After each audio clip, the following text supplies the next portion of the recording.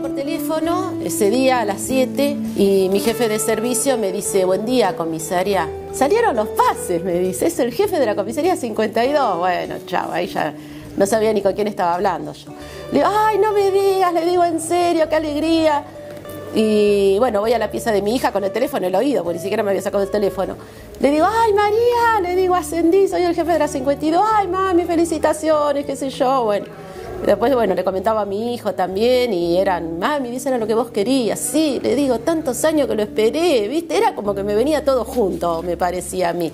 Y, y la responsabilidad es algo que ya está, creo, en nosotras, ¿no? Desde el momento que nos formaron. Yo no siento que tenga más responsabilidad, ¿sabes que siento que tengo más compromiso? Especialmente cuando veo a las chicas de más jóvenes que yo en la institución, con menos años, y como demostrarles a ella que, podemos llegar, que llegamos, eh, que ellos vean que llegamos, que ejercemos la función, que la ejercemos eh, bien, o bien por ahí de jactancia.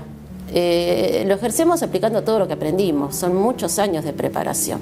Y, y la alegría de que uno no se va con todo lo que aprendió a la casa, lo podemos aplicar en el campo para el cual fuimos preparados, que es este, para esto, para la sociedad, para escuchar, que es una virtud generalmente que mundialmente ya se está perdiendo, el saber escuchar.